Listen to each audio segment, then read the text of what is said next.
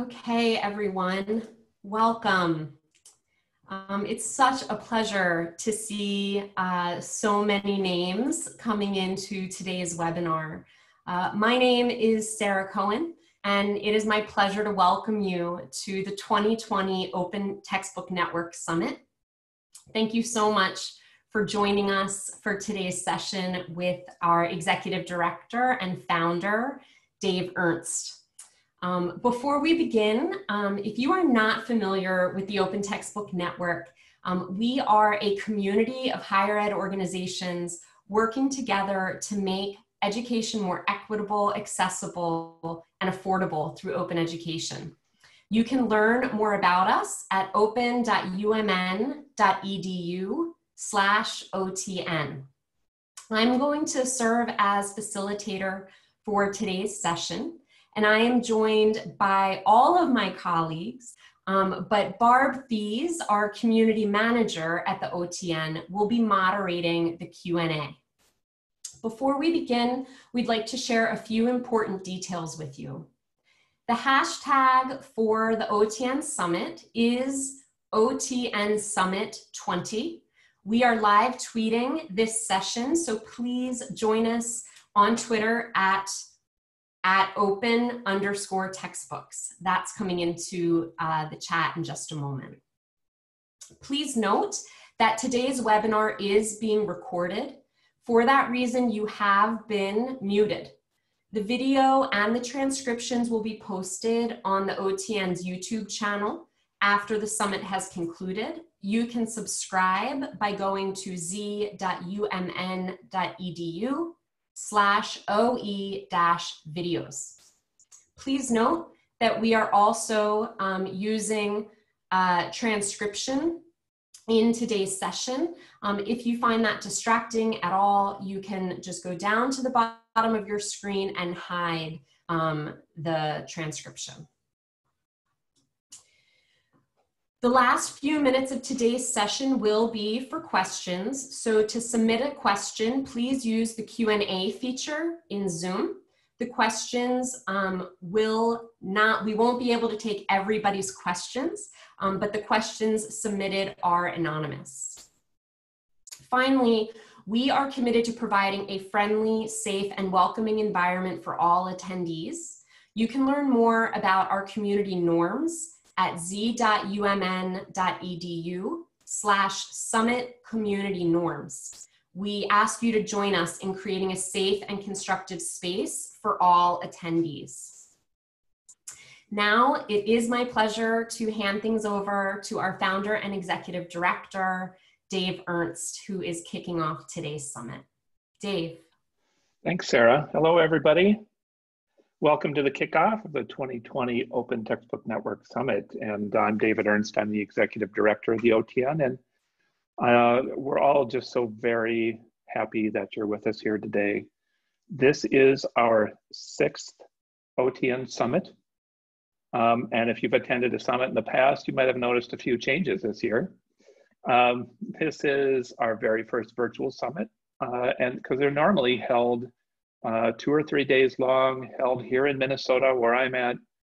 Uh, but this year, the summit is obviously going to be held like everything else in our lives uh, for a few hours each day for the next two weeks over Zoom. Um, we, uh, one of the other things that's changed, obviously, one of the benefits of this is that we're, we're so happy that there are people joining us from outside the community. When we held our community meetings, our summits every year, um, uh, in Minnesota, it was for our members. And because this is virtual, we really decided it would be beneficial to open it up to anybody who really wanted to, to attend. And many of our sessions, most of our sessions in the next two weeks are obviously open to everyone. So welcome to those of you who are not uh, officially part of the Open Textbook Network community, we welcome you. Um, because we might have people who are um, who are not uh, OTN members, I do want to tell you a little bit, just really briefly, about who the OTN is. Um, this is one representation of the Open Textbook Network. These are our member institutions.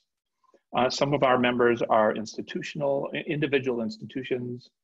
Uh, some join through statewide systems or consortia. Uh, we have memberships representing nearly 1,300 institutions so far um, total. Um, so this is our network of institutions that are members of the OTN, but I, I would say, have to say that this is not a good representation of the OTN community. Uh, this is uh, the OTN team. Uh, these are the uh, amazing people that wake up every day and work to make this community a better place uh, for all of us. They help us to make more of an impact and to grow as professionals and to bring us together over our common goals. And so um, they are, I, I don't have time, we don't have time to kind of individually uh, uh, call each one of them out, but they're an amazing group of people. And your, uh, as an example, your experience over the next few weeks in the summit sessions are due to the planning of Sarah, Tanya, Karen, Craig, and Barb. Uh, they just spent countless hours planning this year's virtual OTN summit. So if you get a chance to thank them, please do. And while these folks are are such a critical, important part of the community, I would also say they are that they are not not the OTN community. Um, this is the OTN steering committee. These folks volunteer their time to help guide us. We can uh, bring challenging questions to them, and we can always count on them for their honest feedback, their suggestions, and their perspectives. I want to thank them all for their uh, commitment and support. And again, while they are a really important part of this community, I would also say that they are not the OTN community. A part of it, but they're not it. This is a more accurate representation of our community. Uh, these are the people who contribute to the network community, the OTN community in some way. It might be that they are leading or part of a working group that we have, or they're workshop presenters, or uh, maybe they have gotten their institution to make backups of the textbooks in the open textbook library, or they're presenters at Summit over the next two weeks, or, uh, or they create a digest of our community list, or they are answering questions on our community list, or asking questions on our community list. That's contributing too or they're creating community resources, or they're sharing resources they've created at their institutions, or they're interacting privately, giving moral support and encouragement on days when things don't look so good. Um, they are at institutions that are um, could be doing any number of things to help with this collective effort that we have. And these are just a few examples. So this is our real community, the people who do the work, who help each other and are committed to making higher education a better place for, for all students. This is actually a photo from our summit two years ago. Um, I will admit that I miss the face-to-face in-person experience. It's, it's, a little hard to play kickball over Zoom or share a drink or uh, walk around the lake or take a riverboat cruise, but um, we're doing what we can. Uh, but we do miss the, miss the, the people. But of course, things have changed. Things have changed since this picture was taken or since last year's summit, um, haven't they? Right? We all know that. There have been some major events that have changed our world uh, that have happened this spring. Tragedies that have been really hard on all of us, some maybe more than others. Um, but for me, I'll say, I'm going to say that it's, I'm going to, I'm going to talk about them a little bit because I think they'll impact our work moving forward.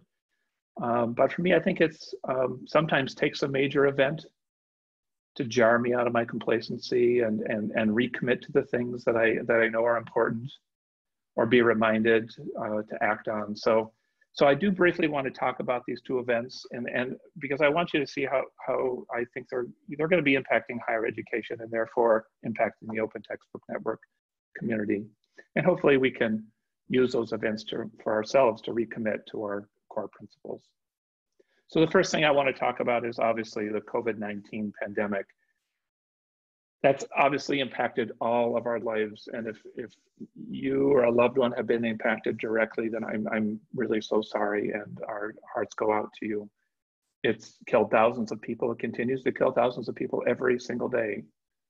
So I don't need to tell you how much of an impact it's had on all of our lives. Um, even if you weren't directly impacted, um, it's it's had a profound, obvious impact on on um, on our personal professional lives. And we've been needed, needed to take these measures to minimize uh, the impact of it. But that the virus's impact on higher education has reminded me that our work is more important than ever, um, and our community is more important than ever. As you know, higher ed institutions responded to the virus by pivoting to virtual instruction in March. And this was a sudden, severe change that had significant impact on students and all of us, but to students as well. Uh, much of that impact is still unknown but it is starting to, to come out. This is a survey done by the National Association of Student Financial Aid Administrators. Um, they were asked, compared to 2019, did the number of students asking for more financial aid increase or decrease in the same period this year? And if they looked at March to May, there was a 47, 47% of the institutions said there was an increase in requests of students. So there are mechanisms in all of our institutions for students to say, my, something in my life has changed. I need more aid. 47% of the institutions said those, those requests increased this year, and 90% of them anticipate that those requests will increase this fall. We've already knew, and we talk about this all the time, that students have you know, financial challenges. Uh, but I think what's happened is that this tragedy of the pandemic has really exposed some of the issues again that we've known have been issues all along. Students struggling with housing, uh, you know, homeless students, those who are uh, food insecure, those who have mental health issues. Those issues are now really amplified. So um, I, I want to bring that up because, again, I think this is uh, something that's going to impact us moving forward. I, I know, at least at my institution, at the University of Minnesota, there's a lot more attention being paid to these issues now because they are seen as being much more severe, and um, and um, we're seeing the impact uh, drastically. So that's one of the tragic events. But I do want to bring off this this other event, and this is a um, this is a hometown event for me but I have a feeling it's had a similar impact on you, and that's the murder of George, George Floyd. Um, this seems to be something that's, um, I don't, I don't know how you want to say it, woken some people up. I know for me it has to some degree. Um, but I think in many what it's done is it's sparked a commitment or a recommitment to exposing or eliminating institutional racism, um, and, and of course, that focus has been on law enforcement. But that's law enforcement is just one sliver of our society. And so it got me thinking about um, what really sparked in me is, is, is what about higher education?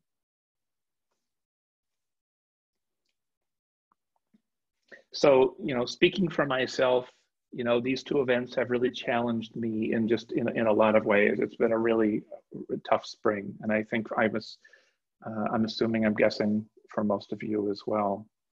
But they've really made me think about my work and to think about how many ways uh, we might be excluding people in higher education um, and thinking about the students most in need. That includes, you know, institutional racism, uh, but also excluding people in other ways.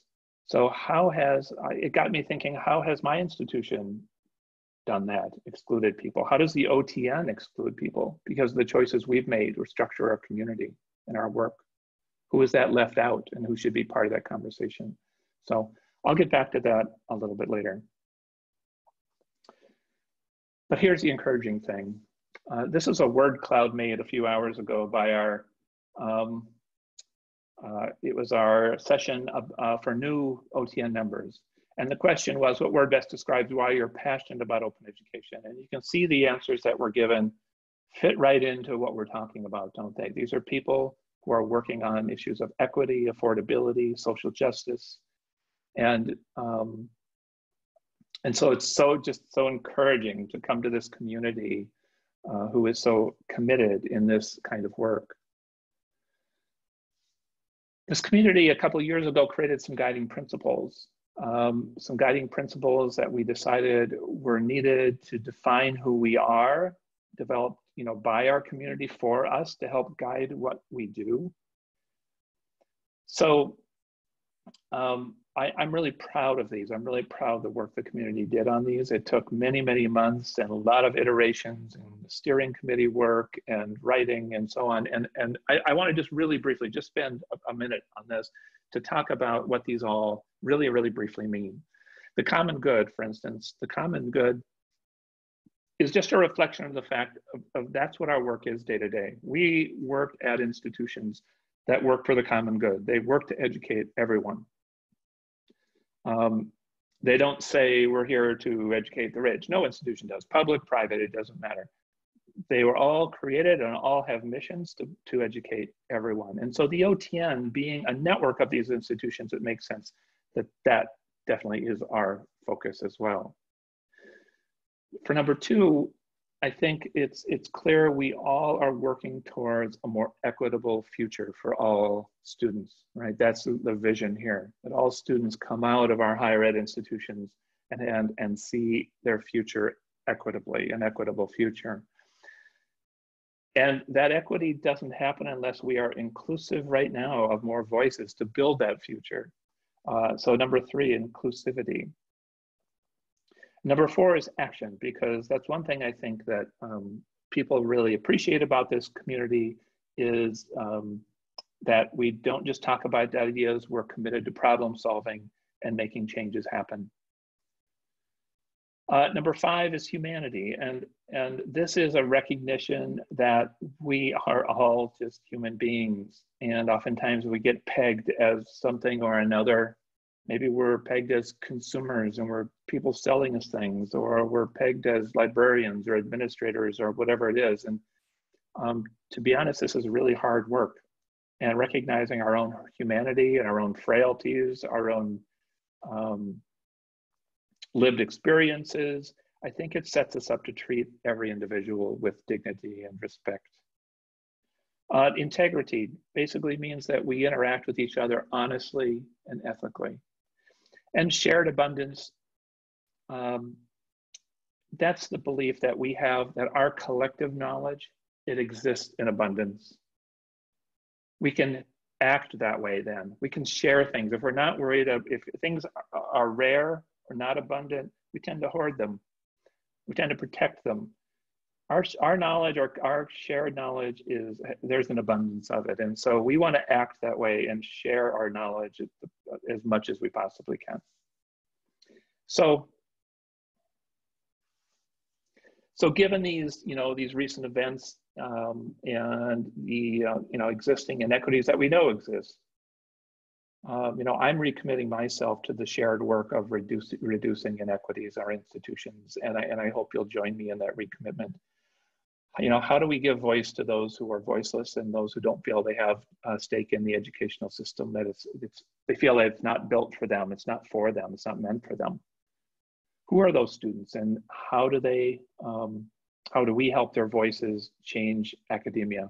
And what role does open education play in all that work? What does any of this have to do with open education?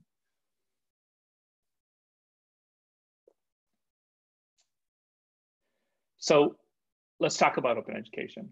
Um, as you know, the Open Textbook Network has used the promotion of open textbooks as a strategy to get uh, faculty engaged in open education, and it's worked really well. Uh, some of them, some people have been a little confused by this, and understandably so, um, since our name is the Open Textbook Network, um, thinking that open textbooks were maybe our goal.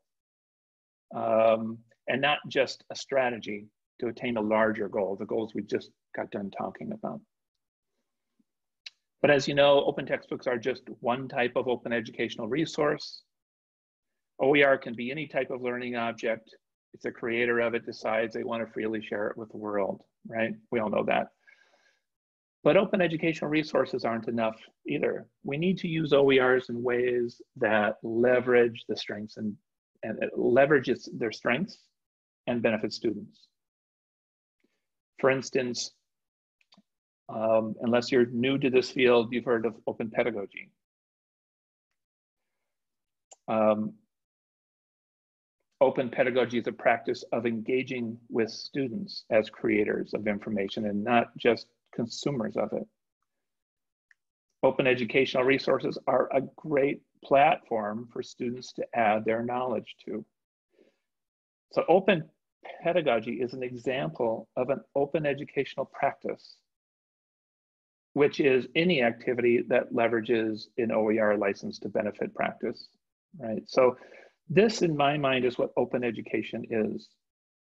It's the application of open educational practices to open educational resources and the combination of those two things. So here's why I'm bringing this up. Um, I believe that open educational practices are activities that, that invite other voices to academia. Oh, I'll say that one more time. Open educational practices are activities that invite other voices to academia. That voice might be the instructor's voice. The instructor might revise um, an, an OER to add their voice to it. They may add a local context, the voice of a local context. They may add multiple perspectives to some a field. They may add personal perceptions or a cultural lens. And as with open pedagogy, the voice might be the voice of students that get added.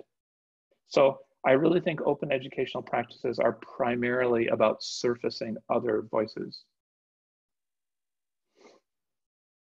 So I think that, that is really, in my mind, where the future of this field is, is in focusing on engaging more voices. And, um, and I think that's what the OTN needs to focus on for the foreseeable future, engaging more voices. And there are lots of layers to this. Now, there's um, lots of layers to engaging more voices in academia, but also there's engaging more voices in the conversations we're having in the OTN. How are we going to design solutions to ben benefit all of higher education if if our own perspectives in our in our community are limited. So here are some actions that we have started to take or we will continue to take um, uh, this coming year. So we're going to be creating um, open educational practice groups. We want to create these, these are discipline specific communities of practice of faculty. We're calling them, we're calling them open educational practice groups. And we'd like to support these communities of faculty and perhaps others to have conversations around discipline specific OER and OEP, right? Open educational practices. And we can hope, we hope that they'll collaboratively develop OER and surrounding practices that improve their teaching and their students' learning in a field that's something we're going to be working on this year, and you'll be hearing more about that.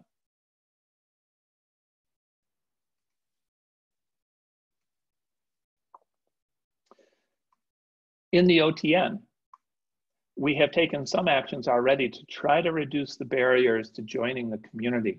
The community takes resources, right? I mean, we are um, we are we're we're sharing resources, but we also have shared responsibility to support the community so it does take resources. And so that's why we have those community fees to support all of our activities.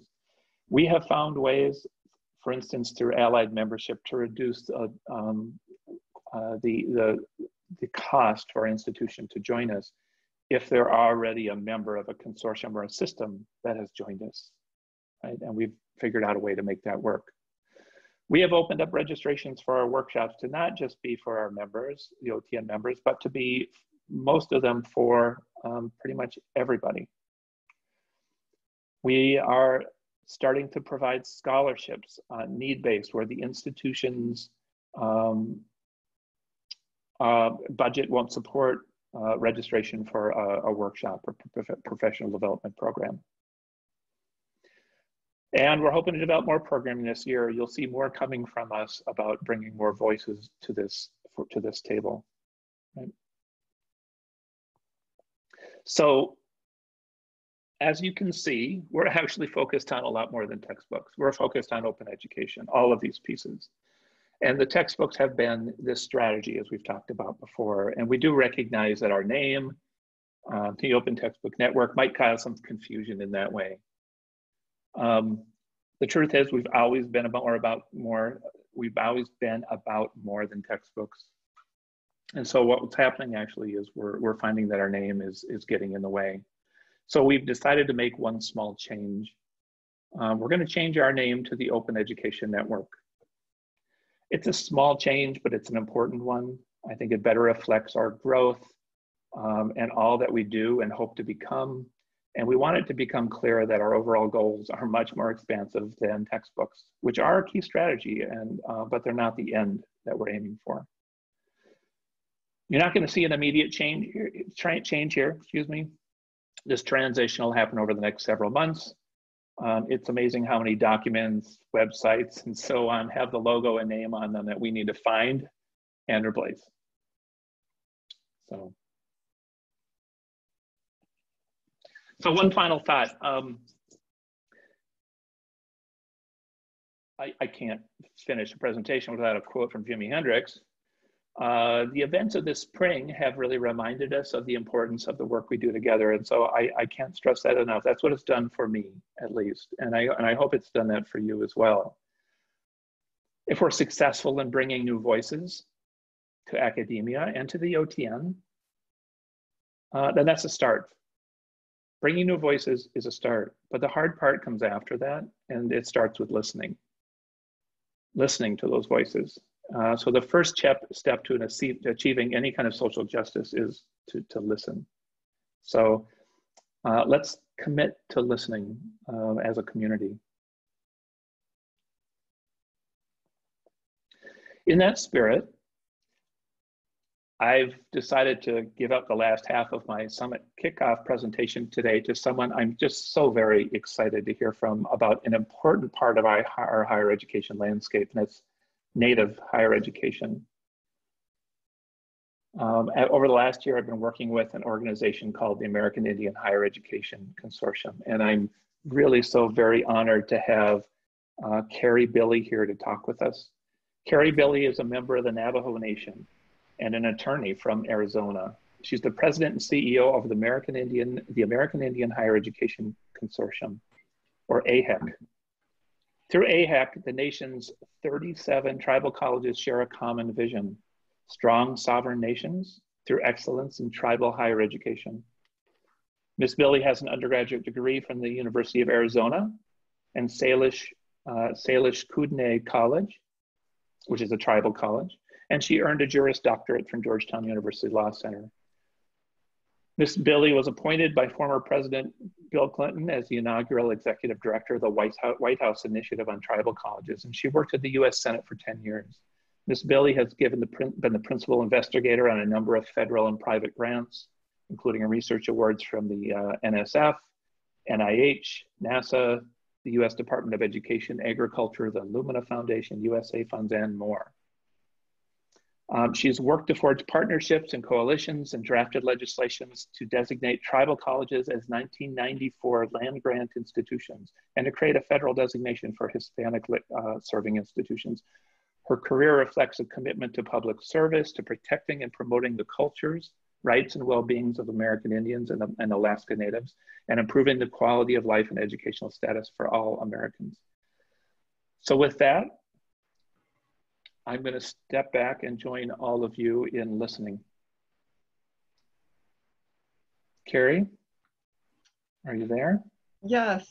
Can you hear me? I will get your I will get your slides up here in just one second. Okay. Hi, Carrie. Hi.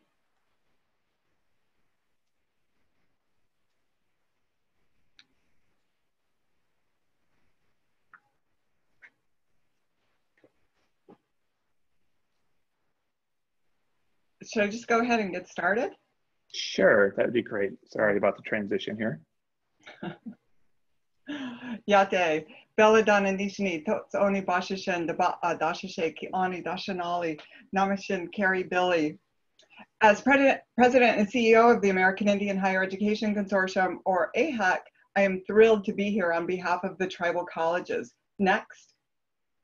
Although we are meeting virtually, uh, you can go ahead to the next, there you go. Um, so we're meeting virtually, each of us in our own place. I wanted to start by honoring and acknowledging the first people of the land on which I am currently located, which is in the Washington, D.C. area. Those people are the Anacostans, Piscataway, and Algonquin people. And I hope everything that I say and do here today honors their sacrifices, prayers, and the care with which they lived on this land. Next.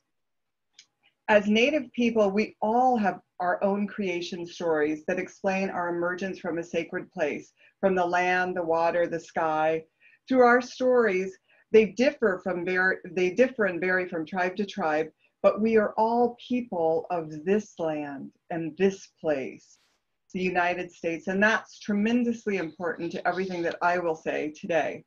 Next. Now, I know that many of you probably don't know very much about tribal colleges, uh, so I wanted to start by putting the tribal college um, movement into historical context. Then I'll talk a little bit about the importance of identity particularly within the higher education context. And I'll close by talking more specifically about tribal colleges and Native student success. Next. In the pre-Columbus days, an estimated 10 million people lived on this land, the United States, speaking 1,500 languages that are found nowhere else on earth. Next.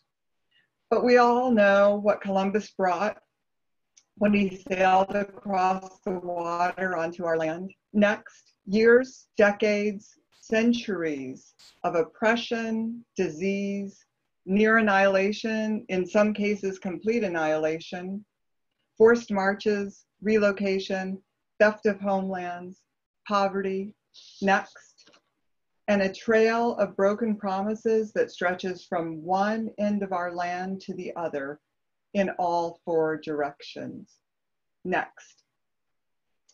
Those broken promises were the hope captured in more than 400 treaties, treaties that our tribal leaders signed with the federal government beginning in 1785.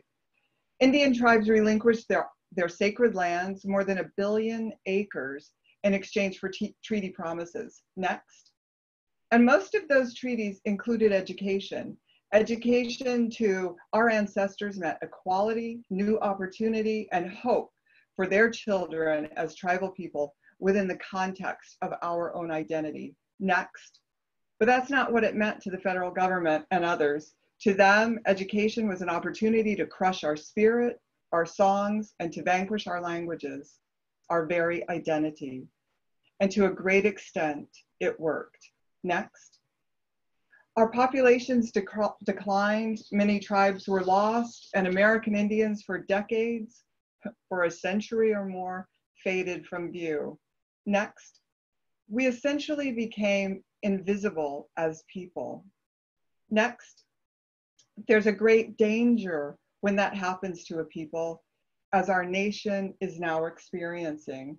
When there is a void, a hole of invisibility, it must be filled with something. And for Native people, that void has been filled with myths, caricatures, untruths, and next, pain, neglect, loss of identity and self worth, and it's been replaced by generational poverty and trauma. But the resilient spirit of Indian people could not and will not be vanquished. Next. It took a while, but in the 1960s, something started to happen. Tribal colleges began to emerge onto the US higher education landscape, nurtured by and in turn nurturing the land, language, culture, and distinct people who created them. Next, the first tribal college, like all that followed, was established for two reasons. The near complete failure of the US higher education system to address the needs or even include American Indians, and second, the need to preserve our culture, our language, our lands, our sovereignty, our past, and our future. The goal was to build an education system founded on our ways of knowing, traditional knowledge, and spirituality. Next. We've grown from one tribal college to 37 institutions operating more than 75 sites in 16 states.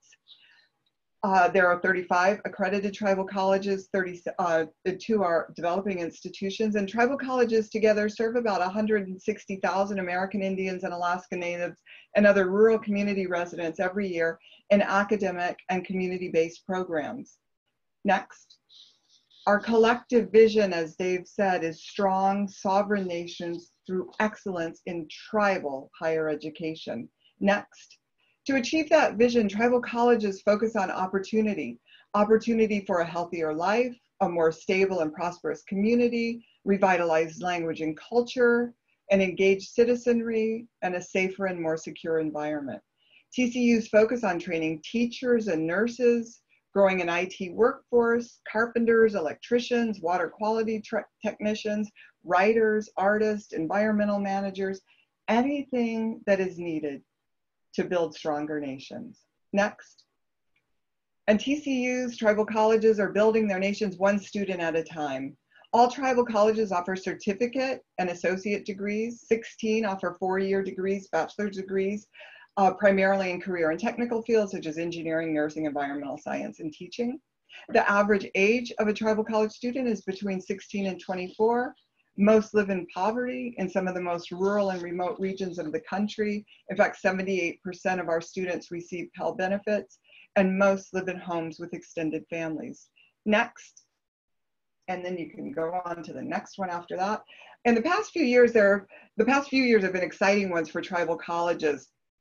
They've been growth years. Next, we had our first our first tribal college uh, two years ago began offering its first baccalaureate degree program that was entirely online. So it's our first four-year degree entirely online offered by bay mills community college up in the upper peninsula of Min michigan. Next.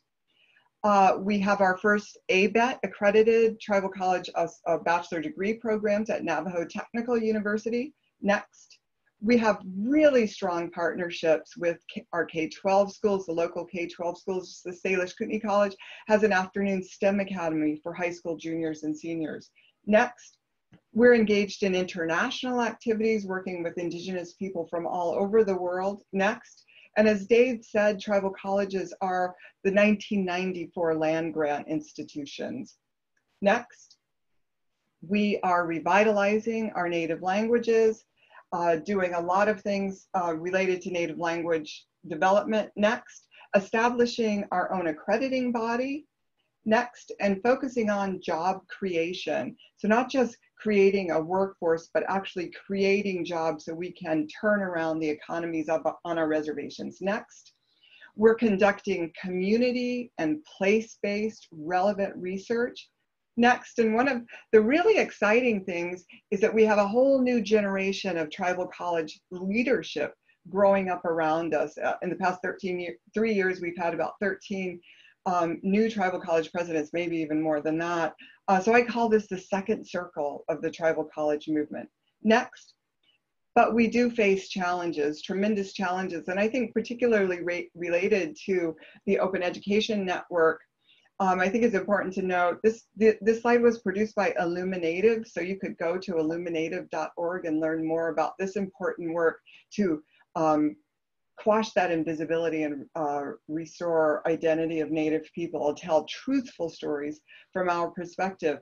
Um, and something very related to that that I think is important to your work is that 27 states make no mention of a single Native American in K-12 curriculum.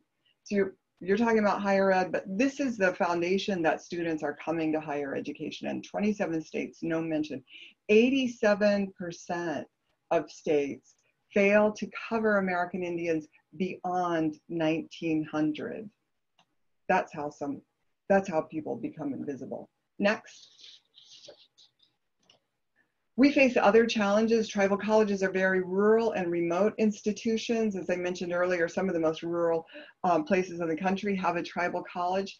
A lot of us, our students come unprepared for uh, higher education academics. So there's a, a lot of developmental education. We have uh, behavioral and generational health problems, a lack of fiscal resources. Tribal colleges are also some of the poorest institutions in the country. And um, as I said earlier, our students are uh, under-resourced as well. So the open especially the open textbooks, but all, all open educational resources, uh, uh, I do think provide tremendous opportunity for our students. Uh, we have faculty and administrations who are working multiple hats, serving, doing a lot of different functions. So um, a lot of challenges in general. Um, next.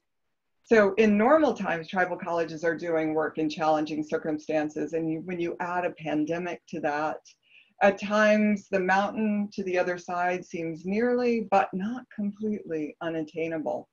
The health status, physically and mentally, of our students and communities lags behind the rest of the nation.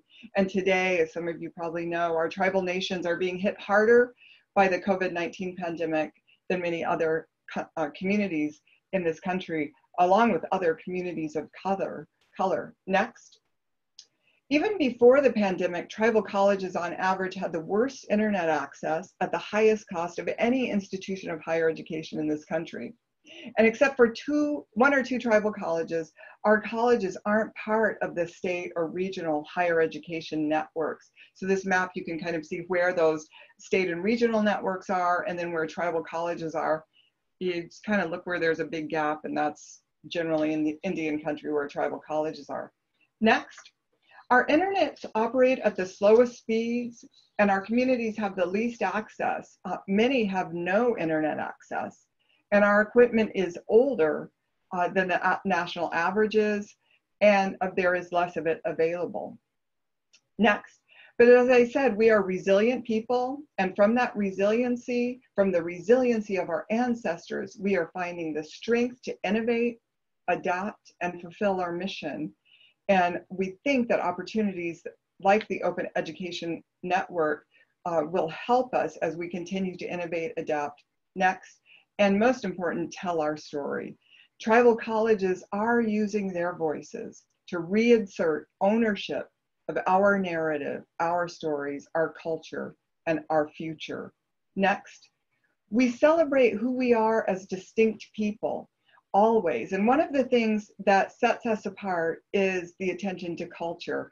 Culture is the core of all tribal colleges, teaching from a native worldview, having language requirements. I like one the way one student uh, put it to me a few years ago. He said, we start every week with a pipe and end every week with a drum. Culture and coming from that native worldview isn't something that's added to tribal college. It, it is who they are. And it's from that culture, that core, that tribal colleges teach their students. Next. Tribal colleges have a, a, real commitment to Native students, focusing everything they do on their identity, spirituality, ceremony, place, community, the personal gifts that each one of our students bring, and of course, tribal scholarship, tremendously important. So tribal colleges already are taking existing curriculum and adapting it to their particular location and to the needs of their community and their tribes. Next. That tribal ownership is particularly important. Tribal colleges are actually chartered by federally recognized Indian tribes or the federal government. So that foundation, that government to government relationship and sovereignty, tribal control, uh, which is, is critically important to tribal colleges. And that's really what ensures that tribal colleges teach from their own native worldview. Next. Also important are family, community, land. Next. And everything tribal colleges do, everything they teach their students and they learn together is working toward that goal that we all share in common, that vision of strong sovereign tribal nations through excellence in tribal higher education. Next. Thank you. Thank you very much for listening to me today. Um, and I appreciate this opportunity and hope that we can uh, be part of your future and that you are part of ours. Thank you. Thank you so much, Carrie. That was really wonderful. Um, and and, uh, and, and really inspiring actually and and uh, I really appreciated you taking the time here today on fairly short notice to uh, to uh, educate us all. Sure. do we have yeah? Do we have time for some questions, Carrie? Are you willing to? If there are any questions at all by the by the group, you willing to answer some questions? Yes, okay. sure. Thank you.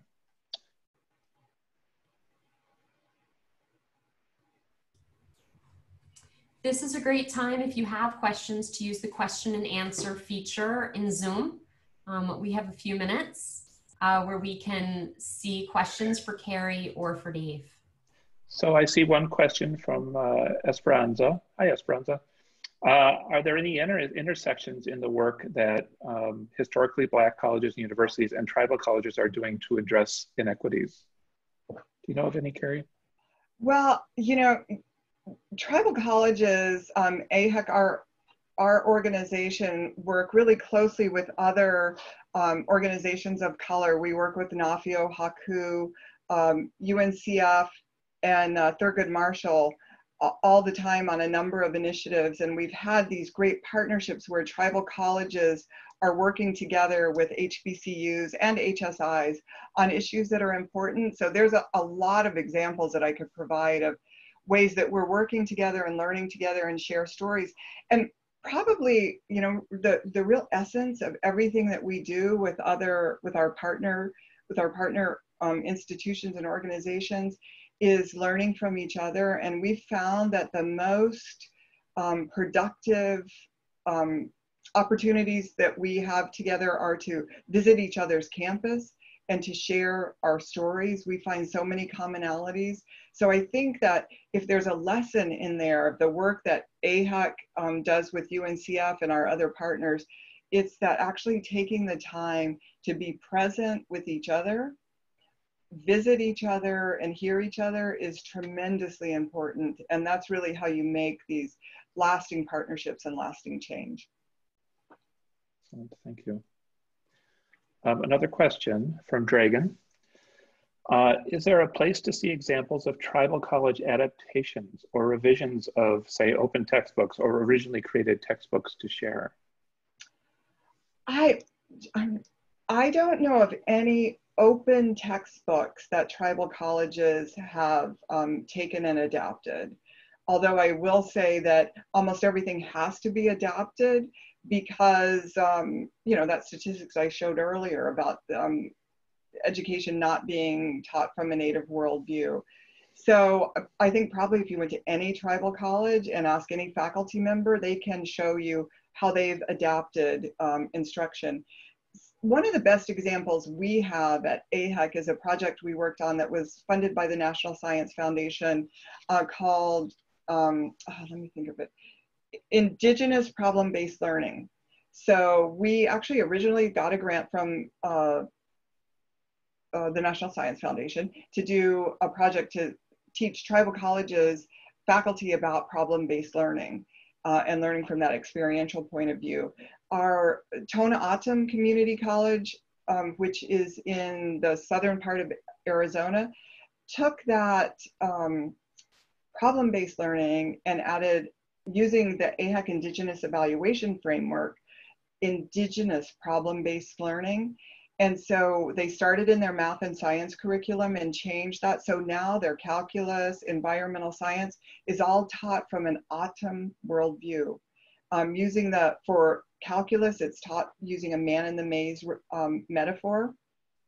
And uh, I can't remember how they do environmental science, but the faculty who did that, who've translated their those courses, um, have had tremendous success with them. In fact, their calculus teacher says that he never he'd been teaching calculus for 20 years, and and he but he never really felt like he was teaching calculus until he did this new curriculum because it was so meaningful to see the change in his students. Um, and there have been papers written about their work, which I could share the links to those. Thank you, Carrie. Um, let's see. Uh, are there some, here's another one uh, from Sharon Clapp. Are there some good open history works that we can look at that will cover so-called US history from a Native perspective uh, does anyone know? And thank you, Carrie. This is exciting work that tribal colleges and universities are doing. Yeah, thank you. Um, I don't know of any, but um, but I'm not, you know, not really in the open textbook world, so I wouldn't know that. But we have people, Dave, you might know. Um, there are things that are out there, um, and we hope to actually create more. One that I will say, um, that really isn't classified as an open, it is an open educational resource, is the Smithsonian, the National Museum of the American Indian, um, mm. called, I think it's 365. It's another link that we can send you, but a lot of great information on um, Native history from a Native point of view. Mm. Wonderful. Um, next question uh, uh, from an anonymous attendee. Uh, there, this might be too targeted, but are you aware of any excellent OER resources, even if they're not textbooks, that collect tribal legends and myths? I teach the Navajo emergence story in my American Lit survey and would love to find more high quality OER material. Oh, well, that's great. Um, I'm really glad you're interested. And um, we can send you or send some links maybe to Dave of potential uh, resources.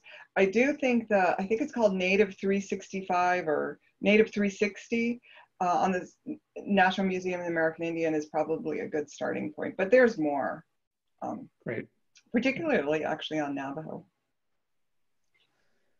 Okay. Um, April, I don't know how to pronounce that first word. MVTO, is that correct? So it looked like she was saying hello to you, Carrie. Really appreciate your talk from a Reconnecting Black Seminole. Oh, great. Thank you. Good to know you're there. Um, could part, this is from Ramun, excuse me if I pronounced that wrong. Could part of the problem with internet access be similar to limited access in many US rural areas? And what are some possible solutions, do you think?